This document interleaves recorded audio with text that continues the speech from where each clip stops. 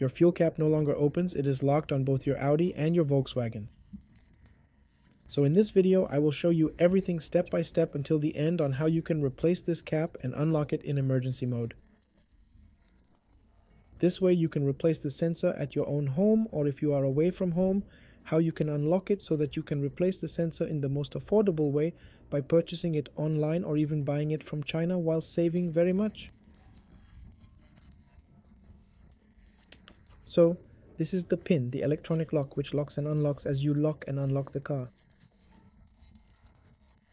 I'm going to show you now first of all how you'll unlock it from inside your trunk. In the side area you'll find this red key.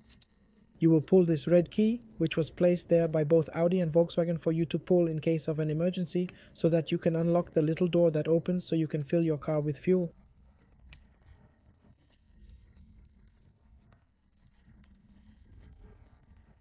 Just pull it and it's going to unlock the system. Everyone on the internet teaches it the wrong way. These small marks that I'm showing you here on the cap, everyone I've seen videos on the internet teaching saying that you have to drill a hole in order to be able to remove this finish and change this sensor. That's completely incorrect. They're teaching you wrong. You're paying for your car's gas cap and fastening it wrong. Many people on the internet, I've seen numerous videos of many people teaching the wrong way, damaging your car's fuel cap. There's no need for that. These little marks were simply put by the brand, both by Audi and Volkswagen, so that you know where the locks are. Okay, so that you know where you are going to release the locks. So I will now show you step by step how to dismantle everything, change the sensor and also show you what the sensor code is so you can buy the correct sensor affordably Make a part like this that you need to damage to remove. So you will just use a plastic key, very simple, and here on top of the markings you have here on the locks. This is where you're going to put this key. So we're going to open it here. The mouthpiece, obviously the first thing we're going to do is fit the key here inside this rubber part. Correct for us to remove. Remember, do not use the tank nozzle, the uncapped tank nozzle. Never use any metal wrench, anything that could cause a spark or fire here because it is very dangerous. And now for us to remove it, we're going to put two fingers here inside this rubber so you can press on the top. Right above the markings you see is where you're going to fit the key.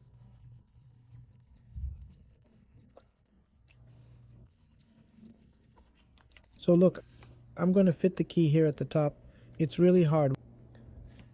We're going to pull the first lock. It's already loose. Okay guys, so it was very simple to release the first lock.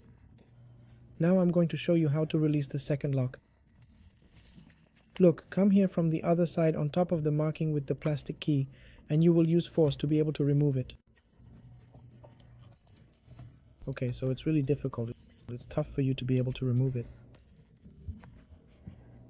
This lock here releases this lock. For example, on this side here, it has already released, and on this side here, it has also released.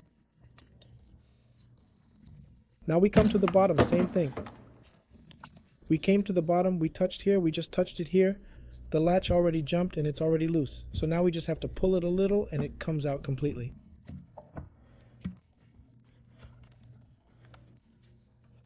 Okay, so here guys, there's no secret. I'll show you here. A lock is here. What did we do to this lock here? We inserted the key from above and used force to push this lock down. The other side here is exactly the same thing. This side here we inserted the key from above and used force to push the lock down. Why is it important that you use a plastic key in this case, right? Just so you don't run the risk of marking the paintwork here on the top. You can see that there was no mark left because the plastic key doesn't leave a mark. At the bottom, exactly the same thing. We put the plastic key here. We used force to release the clip, right? To release the original locks. So, once it's fitted here, it's fully fitted inside here, what will you guys do? I'll put this back here for you to inspect, so you can learn and avoid doing it incorrectly in future. That way you don't damage your car and I won't ruin the parts. See, these little markings aren't for drilling, okay? Don't drill into this. You can notice the absence of key marks on the paintwork. That's because a plastic key was used, as I mentioned to you before, a cheap plastic key, okay? Without drilling a hole in the part, you will align it exactly with the mark. You will apply force to unlock and release the locks right here at the back to change this sensor. What are you going to do? Over here you will notice that we have this red wire which is a safety feature to allow you to unlock it in case this pin here gets jammed. So this red wire stays inside the trunk so you can lock and unlock it if the system stops working. Let me just attempt to align it here. To change it you just need to loosen this little screw. That's it, loosen this screw, pull out this connector, replace it with a new one. In the video, I will insert a picture of the model, the part number, to make it easier for you to purchase. The video just cut off, so there you have it. I'm going to reassemble it now. You need to be aware of this little hose here. It's responsible for drainage. So when fuel comes out from here, or you wash the car and it gets filled with water, this little hole drains the water or gasoline.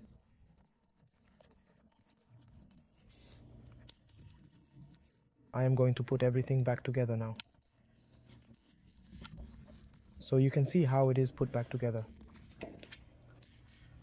The first thing I will do is reattach the drain hose into position because obviously it couldn't be left out.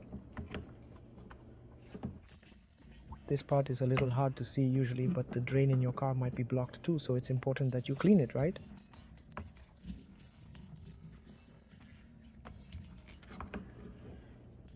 The drain is fitted now. Let me put everything back together. Let's look at this piece here. You can see first it fits from the side, okay? Let me just pass this through. This is the small cable that you pull from inside the trunk in order to unlock the pin.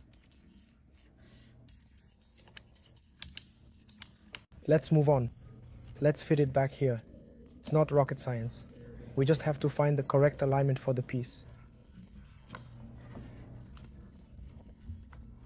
Let's fix the rubber back here. As you can see, the nozzle is exactly in its intended position. It's just not fixed yet. It's loose at the moment. How do we secure it?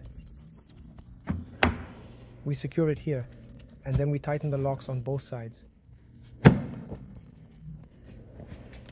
Now it's tightly secured.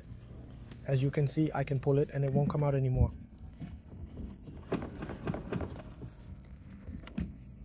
Now it's stuck back onto the latches and won't unlock. Lastly, just place the rubber seal back onto the nozzle, right?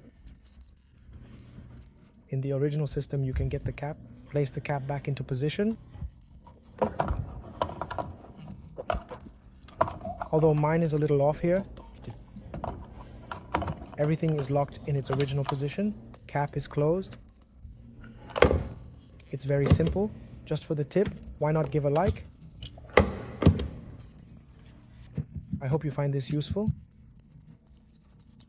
And remember, you did not have to drill anything on the original part, nor did you have to ruin the original part to be able to do these replacements.